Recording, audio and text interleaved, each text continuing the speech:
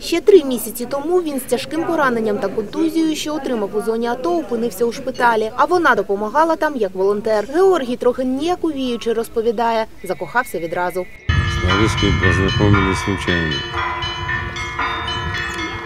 Ну, у нас была э, любовь с первого взгляда. У меня была любовь с первого взгляда. Я постарался завоевать ее любовь и внимание. Завоювати спочатку увагу, а потім і кохання воїну вдалося. Тепер молодята з сяючими очима на порозі церкви вирішили вінчатися перед Богом у затишному віддаленому храмі, що у Васильківському районі, де все по-родинному та за давніми звичаями. Цей день каже Лариса для неї надважливіший.